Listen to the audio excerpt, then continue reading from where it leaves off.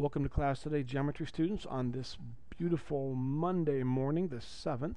Hope you guys had a good weekend. You did pretty well on your tests, so um, that's good news for you. By the way, uh, you may as well pause the video now if Mr. Harmon, uh, who, by the way, does a great job of supervising the class, as in terms of getting papers to you and and uh, all the information to you that I give him. But um, he, if he has not passed out the papers to you, pause the video now and ask him for your papers because we are going to go over your test, okay? I'm going to continue on assuming you have the test, but if you don't, pause the video and get your papers. Anyways, hope you had a good weekend. Hope you're ready to learn. Today's lesson is pretty easy. We're starting chapter 4, a brand new chapter, and usually the first couple lessons in a new chapter are quite often easy, and this is no exception. You'll find today's math pretty simple. Um, so we have a lot of notes because we're going to go over the quiz and make announcements and take notes. And the homework assignment, um, you'll still have homework, but it will not take you that long. Um, and I think you'll do fine. First of all, we will have a quiz this Friday. And if I understand correctly, that should be the last grade of the nine weeks. Okay, I'm going to make, I think, or if, if not, I'll put it to you this way there will not be another quiz or test after this one right here on this nine weeks. So make it a good one, okay? All right, so quiz this Friday. Uh, sorry about that. And uh, you owe me nothing to turn in. You had no homework over the weekend. Uh, Martin, you owed me an assignment, and you did turn that in, so we're totally good. I think everybody is caught up with everything, which is really, really good. So congratulations for that. Um, let's go over the test, okay? Everybody get your tests out. You're welcome to show others or keep them covered up, whatever you want to do. Let me say right now, I did not go over any of the fill in the blank. I mean, excuse me, I'm not right now going to go over any of the fill in the blanks, nor am I going to go over any of the list out the four ways or the four things we know about angles or the six ways to prove lines are parallel. All of that is in your notes, every single bit of it listed out for you. So there are some things I will do for you, but there are other things. If I do those things for you, I'm just teaching you to be lazy. So there is no reason you cannot find your own mistakes on the words that you missed on those. So having said that, we're only going to go over the problems now that students missed on the test. So please get out your tests, and here we go. Uh, some of you did miss number 14. So let's take a look at number 14. Are you ready? Please pay attention. Notice here in the directions it says P is perpendicular to Q. Do you see it? I'm circling it for you. P is perpendicular to Q. Now, the only thing that concerns me, I'm not sure if you're watching this on a big screen. Uh, I might want to make this a little bigger. Uh, let's see here. There we go and it's not working, is it? Because some of the things aren't moving. Okay, we'll just uh, can that idea and we'll just forget it. Okay, um, notice right here on your test it says P is perpendicular to Q. Now, if P is perpendicular to Q, that means this line here, P, is perpendicular to Q. That means I have a right angle right here, a right angle. So that means this angle here with an X and this angle here with a 40 have to add up to 90. Well, the only thing x can be then, students, is 50 because 50 plus 40 is 90. Okay? All right, moving on. Let's take a look now at numbers 15 and 16. See if we can spread this one out a little bit. All right, there we go. Numbers 15 and 16. Um, the direction said find the measures of angles 1 and 2. Lines that look parallel are parallel. So here we go we have a parallel a line here and a line here and they're parallel. And we have an angle here here and here. Now first of all let's go back to what we learned a long time ago. Vertical angles are congruent. So whenever you have sorry about that whenever you have um, two lines that intersect like this that means this angle here is congruent with this angle here and this angle here is congruent to this angle over here okay and so with that in mind, here I've got a line intersecting a line. So that tells me angle 2 and this angle right here are vertical angles. So right away I know angle 2 is 40 degrees. I mean, they are vertical angles, okay? So angle 2 is 40 degrees. Now, there we go. Now, this angle here that's 40 degrees, and this angle here that's called angle 1, do you remember what they're called? They're called same side interior angles or consecutive interior angles. And when two lines are parallel, cut by a transverse, transversal that forms these two angles, they're not congruent, they're supplementary. That means they have to add up to 180. So if this angle is 40, then I simply, simply take 180 and subtract 40, and I get 140 degrees. So angle number one is 140 degrees. All right, number 16. Now, first of all, this angle here that's 40 degrees, right here, and this angle 1 are what we call alternate exterior angles. Alternate exterior angles. And when two lines are parallel cut by a transversal, alternate exterior angles are congruent. So this angle number 1 right here is really 40 degrees. Now, you've also learned in the past, whenever you have a straight line like this, with a ray or a line coming off of it, the straight line's 180. That means these two angles here, this angle here and this angle here, they have to add up to 180. They have to. So this angle right here would have to be 140 because 140 plus 40 is 180. So angle 2 is 140. All right. All right, numbers 17, 18, and 19. Um, grab a quick drink of water. The direction stated to tell how you knew the lines were parallel. All right, now this angle here and this angle here are called corresponding angles. So we would say corresponding angles. And some of you just stopped right there. And, and I'm, I'm not sure how much I took off for that, but its corresponding angles are congruent. You got to tell me, I mean, you got to tell me the whole reason. How do you know that A is parallel to B? Because the corresponding angles are congruent. All right, look at this. How do I know that A is, I think I said congruent, I mean parallel, sorry. How do I know that A is parallel to B? Well, these two angles here are called consecutive interior angles or same side interior angles. And whenever these two angles here are supplementary, that means they add up to 180, then we know that these two lines are parallel. So I would say consecutive interior angles are supplementary. It's that easy. And then this one here, guys, we learned it's one of our six ways to prove that two lines are parallel. Um, if two lines are perpendicular to the same line. Let's call this line C. A is perpendicular to C, B is perpendicular to C, so A and B are perpendicular to the same line. If two lines, like A and B, are perpendicular to the same line, in this case C, then A and B are parallel. Okay, moving on. No one missed 20, so we're not going to worry about that, but some of you did miss 21. Now, look, um, we know that this right here and this right here, these two angles, are same side interior angles. Excuse me for yawning, or in other words, they are consecutive interior angles. And remember, when two lines are parallel cut by a transversal, in such a way, or excuse me, when that happens, the consecutive interior angles are not congruent. That's what some of you did. You went like this. You said 3x plus 28 equals 5x. They're not congruent, students. Absolutely not. They're supplementary. So we take 3x plus 28 plus 5x. We add both angles together, and they should equal 180. Now we combine like terms, so 3x and 5x is 8x plus 28 equals 180. Now subtract 28 from both sides and you're left with 152, I believe. Is that correct? Uh, let's see. Uh, no, that's not correct. Yeah. And then we divide by 8 and we get 19. 19. So x equals 19. Okay? So, um, those are the ones you all missed on the test.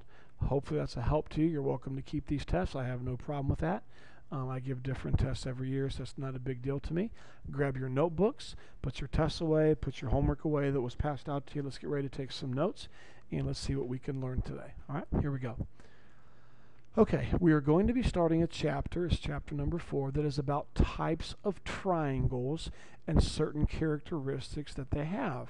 Okay, you don't have to write that down. I'm just telling you what chapter four is all about.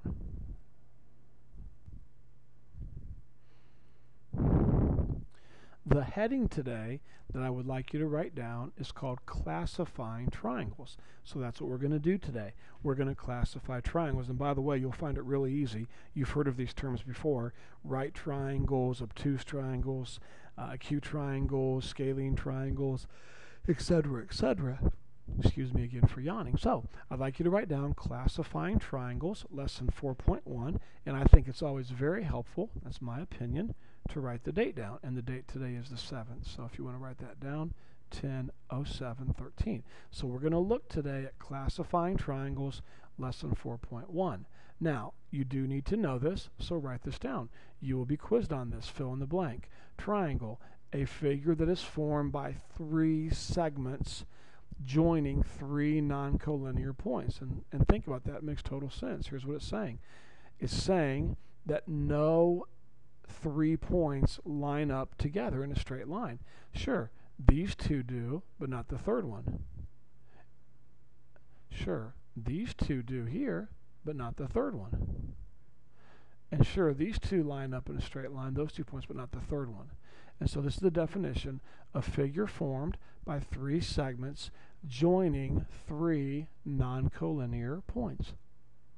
Definition of a triangle we're going, you don't have to write this down, we're going to classify triangles today, listen to this, based on their sides and based on their angles.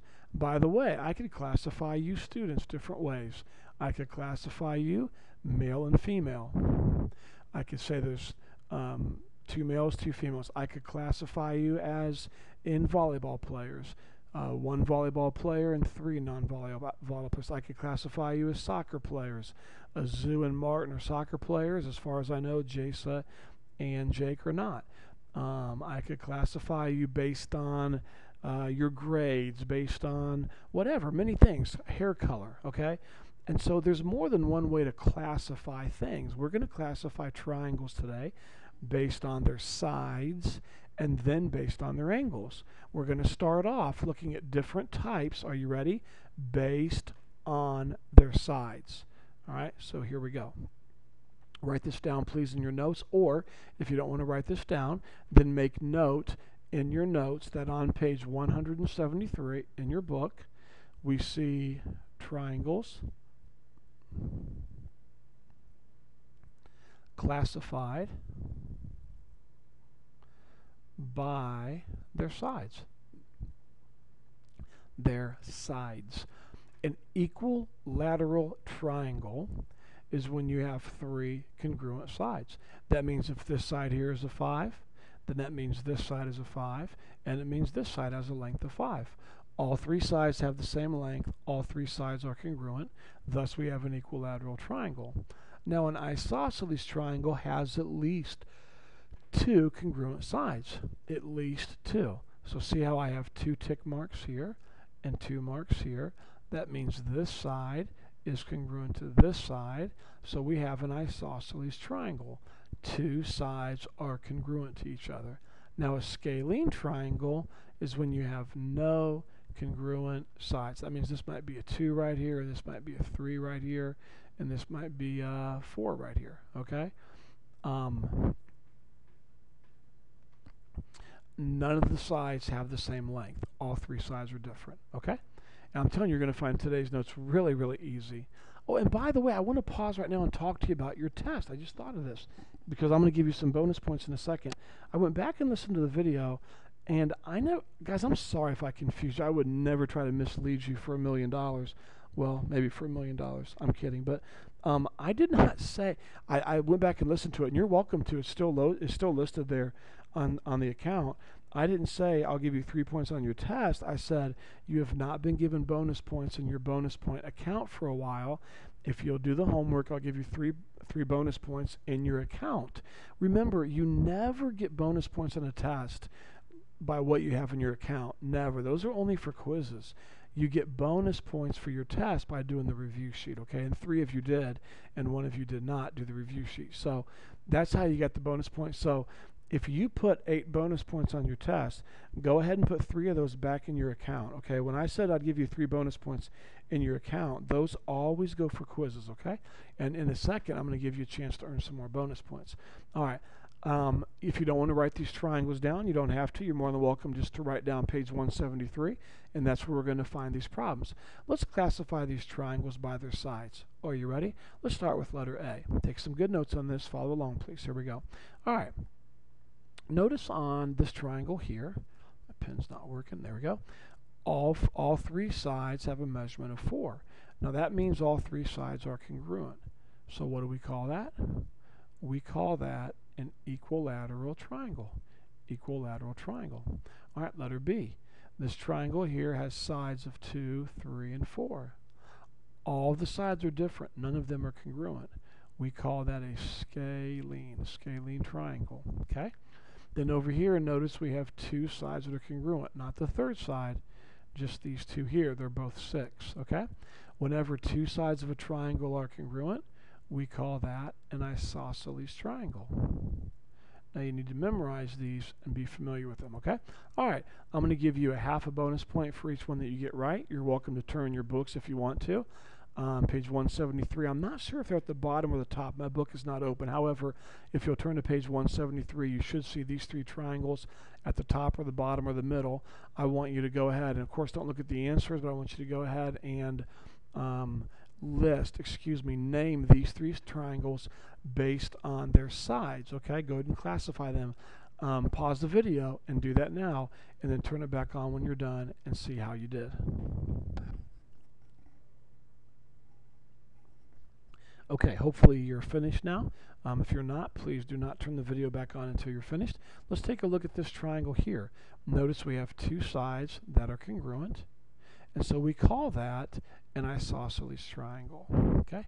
Isosceles triangle. I'm not sure why I put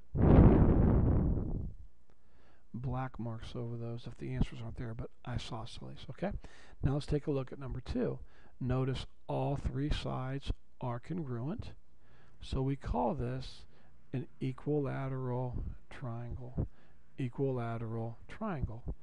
And then lastly, number three here, Notice all of the sides are different, 10, 6, and 7. So we call that a scalene triangle because none of the sides are congruent. Okay? So what we just did is we classified triangles by their sides. Now let's go ahead and learn to classify triangles based on their angles. Did you notice that all the classifications we just did were based on the sides? You should have noticed that. Now we're going to look at different types of triangles based on their angles on their angles. So you can copy this down or you can make note in your notes that on page 174 you will see these four examples. All right, so let's take a look at these very quickly. All right, notice in this triangle here, all three angles are congruent. One mark, one mark, one mark. When all three angles are congruent in a triangle, we call that an equiangular triangle. Equiangular triangle. Okay? Now, when we have an, a triangle that has three acute angles, now don't forget, an acute angle is an angle that's less than 90. So we'll pretend we've got a 30 here, and uh, let's see, a 70 here, and an 80 here. Okay? Well, notice all three of those angles are less than 90. So all three angles are acute. Thus, when all three angles are acute, we call the triangle an acute triangle. Again, we're looking at the angles, not the sides. Notice when just one angle is 90 degrees, just one angle is 90 degrees, we call that a right triangle. And then notice when one angle is bigger than 90, and this angle here is definitely bigger than 90. We'll say it's, I don't know, 100 degrees. Um, when just one angle in the triangle is obtuse, obtuse means larger than 90, then we have an obtuse triangle. Okay? So with that in mind, let's practice a couple of these, and I'll give you a couple more bonus point opportunities.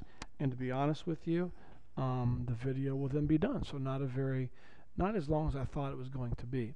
Okay, you're welcome to write these examples down in your notes, or you can just write down, make note that's on page 174, and let's take some really good notes. Here we go. Classify the triangle by its angles and by its sides, both.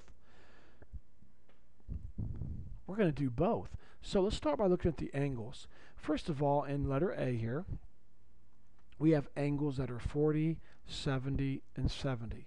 Now, all three angles are acute. There's no 90 degree angle, no obtuse angle. All three angles are acute, so we know it's an acute triangle. But then notice what else that we know here. Notice that we have two sides that are congruent. This side here has one slash, and this side here has one slash. So now looking at the sides, whenever a triangle has two congruent sides, we call that an isosceles triangle. So what do we call this? We call this an acute isosceles triangle. Acute isosceles triangle. Okay, let's try this one here. Let's classify this triangle by its angles and its sides. Sides, excuse me. So this is a right angle right here. See that? Well, if a triangle has one right angle, we know that we call it a right triangle. So we're going to write the word right. And then look at your sides. All three sides are non-congruent. They're different. Well, we call that a scalene triangle, right? We just learned that about five minutes ago. So this triangle is called a right scalene triangle. A right scalene triangle. Now, let's come over here to letter C. I notice one angle is obtuse. It's larger than 90. So I know that based on the angles, I have an obtuse triangle. And now look at the sides. Looks like all three sides are different. 6.4, 5.8, 9. All three sides are different. So once again, that's called a scalene triangle. So this triangle is called an obtuse scalene triangle. Obtuse scalene triangle. Now, I would like you to, of course, it's really blurry here, but if you'll look in your books, uh, page 174, numbers 4 through 6, I'm not sure. I think it's at the bottom of the page. Sorry for yawning again, guys. I apologize. A little tired tonight. I hope that I'm not annoying you doing that. I'm sorry. Um, so if you'll turn to page 174 and look at the bottom, numbers 4, 5, and 6, you'll see these problems.